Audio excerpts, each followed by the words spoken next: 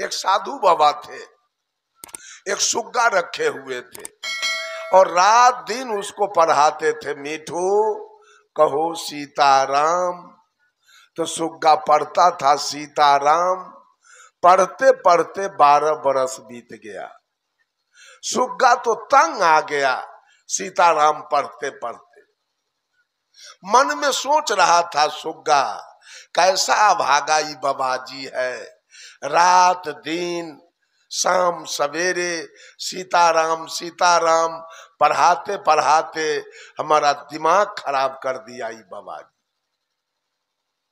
सुग्गा सोच रहा था। तभी एक दूसरे संत जी मठ में आ गए।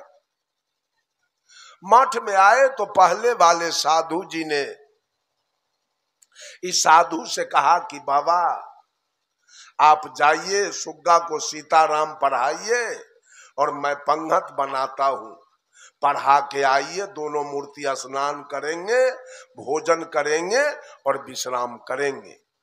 साधु सोचा कि साधु बाबा हमको तो हल्के काम दिया, भारी काम तो अपने ले लिया।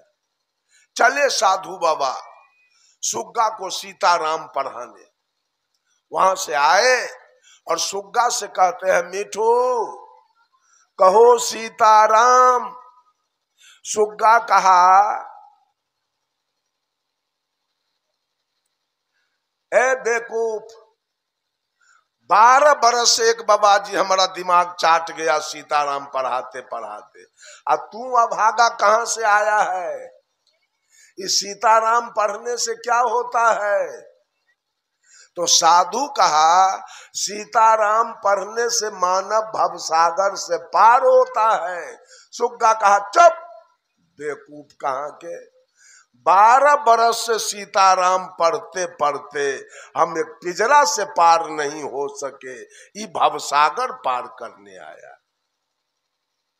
कहा, जाते हो कि नहीं जाते हो मेरे नज़र के सामने से?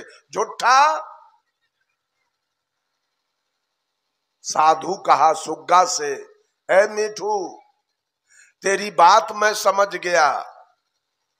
तुमको आज तक कोई थ्योरी का ज्ञान दिया, प्रैक्टिकल ज्ञान नहीं दिया।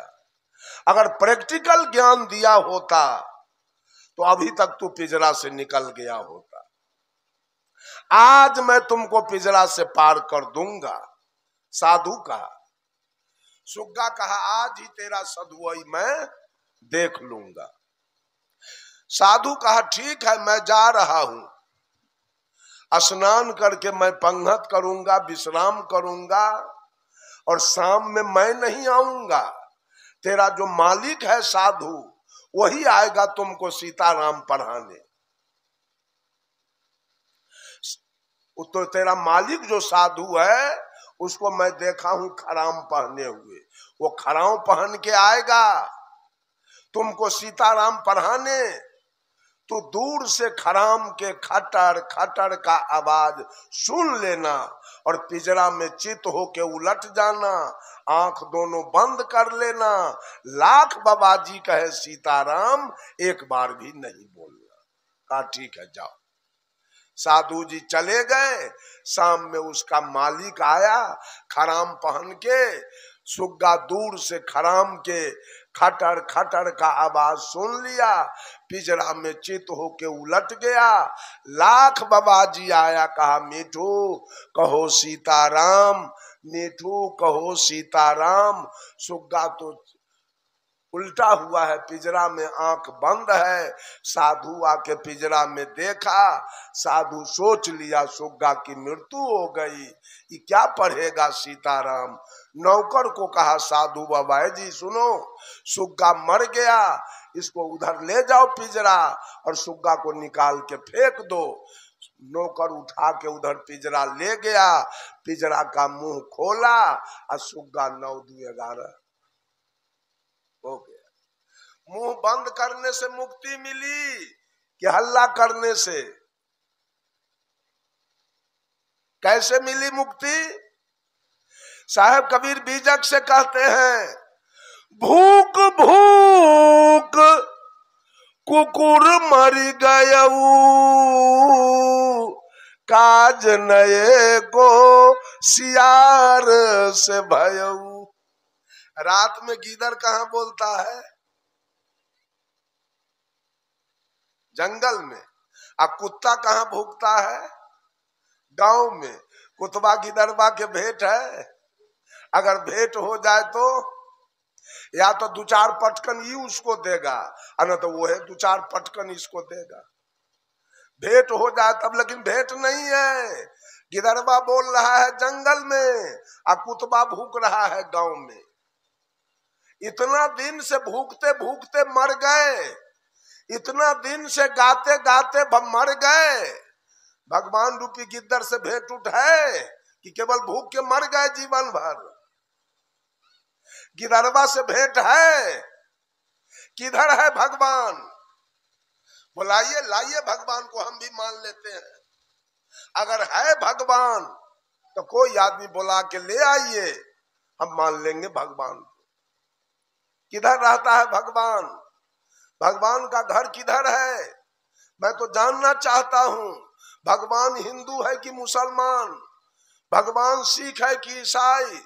भगवान औरत है कि मर्द? भगवान गोरा है कि काला? भगवान धनी है कि निर्धन? भगवान छूत है कि अछूत? भगवान बैकवर्ड है कि फॉरवर्ड? भगवान एससी है कि एसटी की ओबीसी कैसा है? कोई तो बताइए। उस भगवान को मान लिया जाए। इतना झूठ का रोज़गार चल रहा है। इतना झूठ का धंधा चल रहा है। भगवान भगवान करके सारे लोग बेकल होके मरने पर लगा हुआ है आज तक किसी ने भगवान को देखा नहीं।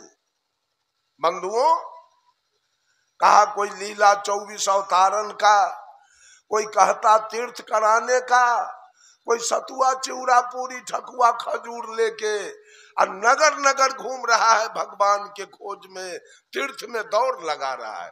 मिला। साहब कबीर कहते हैं डगरिया भूल गई। कहीं विधि घर को जाओ, डगरिया भूल गई। ये सारे लोग कहा से आए? इस धरती पर कहा से आए? घर कहाँ है? साहब कबीर ने पूछा कौन तुम्हारी जाति है? कौन तुम्हारी जाति है? क्या है तुम्हारा नाम? कौन तुम्हारा इष्ट है? कहा तुम्हारा ग्राम? बोलिए, कोई आदमी परिचय दीजिए। आपका नाम क्या है? आपका घर कहाँ है?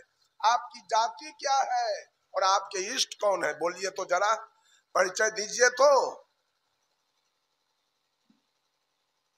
कोई परिचय दीजिए।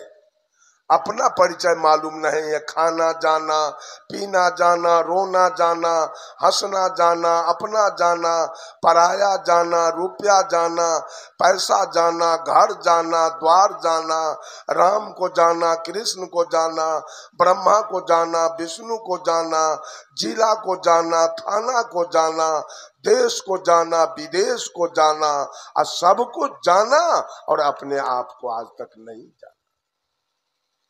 आप कौन हैं? आपका घर कहाँ है? आप आए कहा से? और आपका नाम क्या है? आपकी जाति क्या है? और आपके इष्ट कौन है? ये परिचय तो दीजिए। कोई परिचय मालूम नहीं है। दूसरे के बारे में जाना। लेकिन अपने बारे में आज तक कोई परिचय और कोई जानकारी नहीं मिला। बंधुओं, किसका भजन किया जाए?